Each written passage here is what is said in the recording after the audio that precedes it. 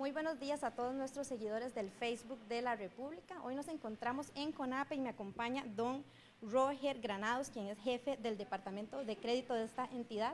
Y vamos a hablar un poco porque hoy se dan la recepción de solicitudes de crédito. ¿Cómo está, don Roger? Muchísimas gracias por atender. Un gusto atenderla, Carla. Acá estamos para dar toda la información que corresponda a CONAPE. Eh, estamos con mucho gusto recibiendo en esta fecha la nueva apertura del crédito CONAPE para todas las personas vayan a requerir el financiamiento de acuerdo con las carreras que han sido aprobadas.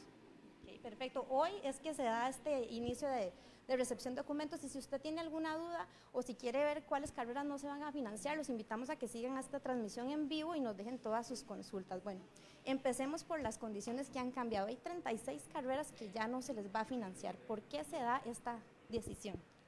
Nosotros hemos venido revisando el movimiento que ha tenido durante el presente año las solicitudes de crédito y nos dimos cuenta que eh, hemos recibido un 36% más de solicitudes de lo que teníamos el año pasado.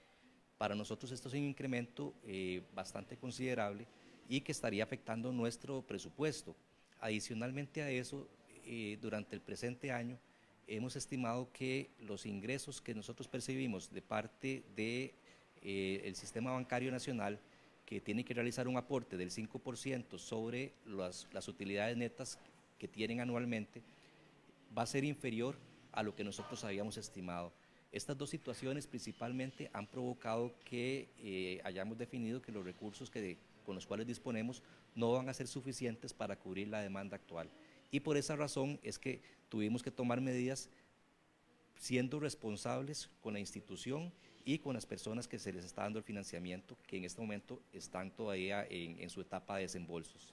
Perfecto. Enfermería, medicina, trabajo social, son algunas de estas ramas que ya no van a contar con este apoyo. Hablemos un poco también del perfil de, estos deudores, por decirlo así. ¿Es un problema más, que todo de recepción de solicitudes o también hay problema con respecto al pago, con afrontar esta deuda?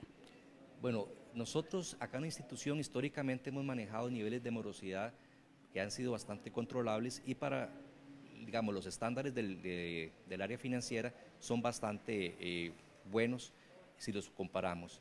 Le puedo decir que, por ejemplo, el 88% de la cartera de CONAPE al 31 de diciembre se encontraba al día teníamos por ahí el 6% que estaba moroso con menos de 30 días y solamente un 3% se encontraba en su etapa de cobro judicial. Entonces, estos indicadores nos dan a entender que CONAPE en la parte de la cobranza no tiene problemas. Eh, eh, estos indicadores son bastante buenos como lo indicaba anteriormente. Entonces, básicamente el problema que tenemos en este momento podemos decir que es por porque el trabajo que hemos venido realizando a través del tiempo, que ya las, personas nos conocen, saben de las condiciones que tiene CONAPE y por eso buscan mucho el crédito que ofrecemos nosotros. Eh, las condiciones que se presentan acá son bastante buenas. En tasa de interés tenemos un 6% que estamos cobrando en este momento. Tenemos eh, plazos en los cuales eh, las personas pueden, cuando ya terminan de estudiar, les damos un plazo para que eh, eh, antes de empezar a pagar, eh, las personas les estamos desembolsando el crédito a través de su, toda su carrera sin tener que venir a pagar a CONAPE.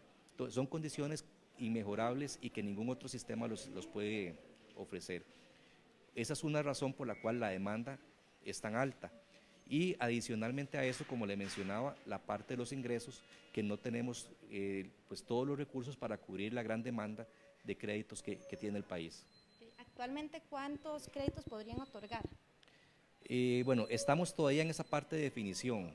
Calculamos que son aproximadamente 19 mil millones lo que vamos a colocar en este año.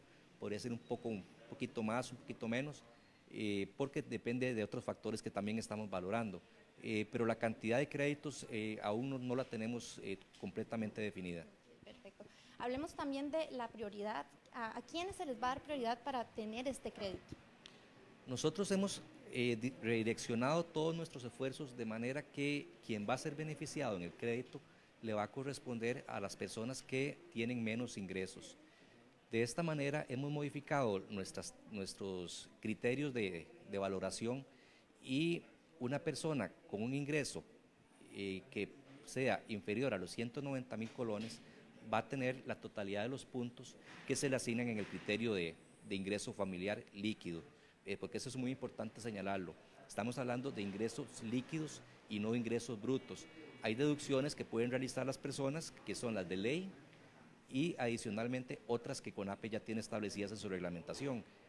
Y tenemos el tope para, para poder ser financiado por CONAPE en este criterio que va a alcanzar el millón trescientos seis mil colones.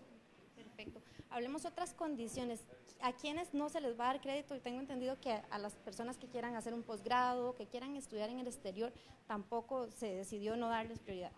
Sí, nosotros hemos enfilado todos nuestros esfuerzos para darle prioridad a las personas que estudian niveles de pregrado, grado en Costa Rica, incluyendo lo que son los técnicos. Eso porque hemos considerado que eh, las personas que están estudiando estos niveles son los que tienen menos posibilidades. Si eh, hablamos de una persona que va a estudiar un posgrado o una especialidad, ya tiene algo, ¿verdad? Con lo cual puede defenderse y podría estar este, eh, buscando algún tipo de financiamiento diferente o financiarlo por sus propios medios. Sin embargo, las personas que están destacando una carrera un diplomado, un bachillerato, una licenciatura, apenas están empezando con, a, formarse. Entonces le estamos dando prioridad a estas personas. Igualmente, eh, hemos eh, eliminado para, para lo que resta del año el otorgarle financiamiento a estudios que son en el exterior, tanto eh, sea pregrado o sea posgrado. Perfecto. En el caso de la refundición de, cuentas, ¿verdad? ¿Qué, habla, qué habla la, institución? ¿Qué tiene usted? Las refundiciones de créditos se estarían dando solamente pues para casos, digamos, que son, que son especiales.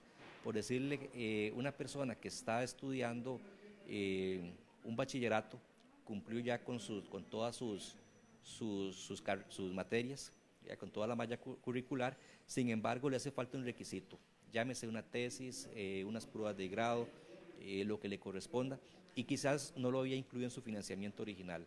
Entonces, a estas personas nosotros les podríamos estar realizando una refundición de crédito. Tenemos también otro caso que son las ampliaciones de crédito, que son para aquellos créditos que aún no han sido trasladados a su fase de recuperación, que todavía se les está desembolsando. Entonces, eh, una persona que por diferentes razones no le alcanza el préstamo que había pedido originalmente, perfectamente nosotros le podemos realizar una ampliación a, ese crédito.